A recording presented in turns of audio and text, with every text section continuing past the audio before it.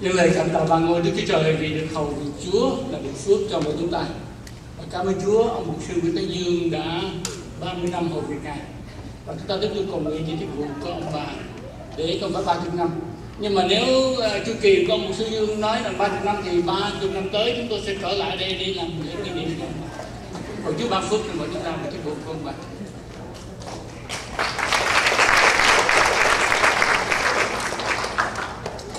À, tôi cũng cảm ơn Chúa, cũng như Thiên Chúa đã ban phước cho gia đình mục sư cũng như trong chức vụ của ông trong à, 30 năm. À, tôi um, được Chúa gọi về hội thánh Cao Tân uh, năm 1997 à, và cho đến năm 2001 tôi là sanh. À, học của Chúa trên ngày hôm nay và tôi cũng mong mục sư Dương là cứ tiếp tục năm tới cái tổ chức thêm năm thứ 31 để chúng tôi trở về để thăm viếng nữa. Cảm ơn quý vị. Xin kính chào hội thánh, tôi à, mục sư Nguyễn Đăng Khoa khác với à, những vị mục sư đây ở trong những vùng lân cận tôi ở San Antonio. À, cho nên cũng à, hơn 10 năm rồi à, tôi mới có cơ hội trở về đây. Thấy à, cơ sở của hội thánh thấy à, con cái Chúa của hội thánh có rất là nhiều khuôn mặt mới. À, cho nên đó là một cái cơ lớn để cảm ơn Chúa. À, tôi biết ơn mục sư Dương rất là nhiều. À, tại vì khi mà tôi tin Chúa à, ở South Carolina à, rất là muốn à, vào đại chủ viện để trang bị để học lời Chúa. À, nhưng mà lúc đó thì à, bên à, tôi thuộc về CMA cho nên trường CMA thì rất là đắt tiền. À, cho nên tôi không có cơ hội để đi học lời Chúa. À, nhưng mà Chúa cho cơ hội gặp gỡ một sư Dương. À, một sư Dương đã giới thiệu về đây. À, ngay cả trong những à, ngày đầu khi mới về à, chính một sư Dương là người đã à, hướng dẫn tìm chỗ ăn. À, chỗ ở tìm công an việc làm và tất cả mọi sự à, khích lệ trong trong trong mọi lĩnh vực trong đời sống. À, từ à, việc hầu việc Chúa cũng như trong đời sống tình cảm rồi tất cả mọi sự. Của sư Dương à, à là người à, người thầy mục sư Dương là người người anh. À, cho nên à, tôi cảm ơn mục sư rất là nhiều. Và cũng đây một lần nữa cảm ơn hội thánh này rất là nhiều. À, tôi có lẽ cái người à, xuất thân ăn cơm của hội thánh này ra rất là nhiều.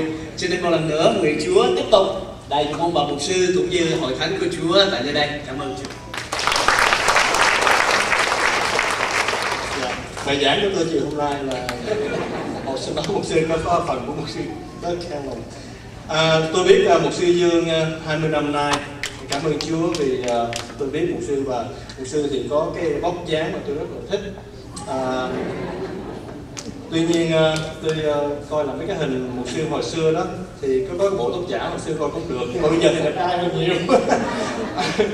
Tôi đến uh, một sư đến ca lần này thì tôi biết là còn một sư đến hồi nãy ông Hen có nói là đến uh, expert là một sư có kinh nghiệm thì tôi nghĩ rằng tôi là một người mà giúp một sư dương có rất là nhiều kinh nghiệm. Và tôi uh, Chúa cũng đặt tôi để mà huấn luyện và giúp cho một sư dương có được cái kinh nghiệm đau thương. Ờ, à, tên của tôi là người ta mà nãy ông ông Hen nói. À, vậy tôi muốn nói là tôi cảm ơn Chúa vì tôi ờ, được học hỏi từ qua mục sư có ba điều mà tôi cảm ơn Chúa. Và và cảm ơn mục sư là thứ nhất là vấn đề mục sư dạy dỗ, hướng dẫn, khuyến khích ở trong cái bước đường theo Chúa cũng như khi đi vào chức vụ. Có đôi lúc tôi nghĩ rằng tôi biết nhiều hơn mục sư, nhưng mà trong lúc mình nghĩ là mình biết nhiều hơn thì đó là lúc mình đang học mà mình không biết được. Và đó là điều mà tôi cảm ơn Chúa mà đã dùng mục sư để giúp đỡ. Và khi mà tôi bắt đầu có cái sự suy nghĩ đi vào trong ờ, trường để mà đi học thì mục sư Dương đã cố vấn và khuyến khích rồi dọn đường rồi chuẩn bị để giúp cho tôi có cái cơ hội để hầu được Chúa tại hội thánh rồi giúp cho tôi có cơ hội tài chánh để có thể đi học nữa.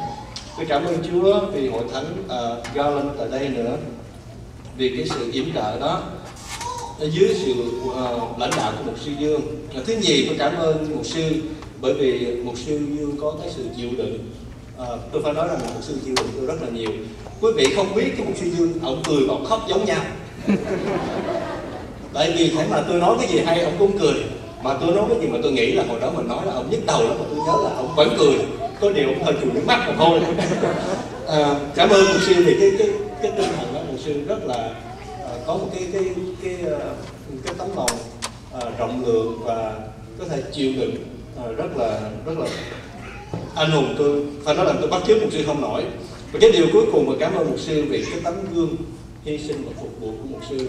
Có đôi lúc à, à, làm phải nói rằng khi mà làm cơ làm tín đồ ở trong hội thánh đó, thì mình nghĩ là mục sư ông ông nói thế này nhưng mà ông làm thế khác hay là ông à, có những cái chương trình riêng. Nhưng mà thật sự mục sư là cái người mà phải lo cho nhiều người và phải nghe nhiều tiếng nói khác nhau thành ra có đôi lúc phải quyển chuyển phải sắp đặt, rồi phải giúp đỡ cho người này cắt nghĩa cho người kia. Nói đúng ra tôi không bao giờ hiểu được cái chức vụ của một mục sư như thế nào cho tới khi tôi bước vào trong chức vụ. Và tôi cũng hay nói nhỏ với mục sư Dương lâu lâu tôi gặp mục sư tôi nói chứ, mục sư, xin lỗi nha. Bởi vì tôi là người phải làm cho mục sư nhức đầu. Ngày hôm nay thì Chúa dạy cho tôi cũng đi vào con đường đó và tôi cảm ơn Chúa vì sự à, à, cố vấn và giúp đỡ của mục sư cầu xin Chúa ban ơn cho mục sư để tiếp tục hầu việc Chúa không thảo năm 10 năm 30 năm 40 năm nhưng mà cho đến khi nào Chúa thấy rằng xong công việc. Cảm ơn mục sư.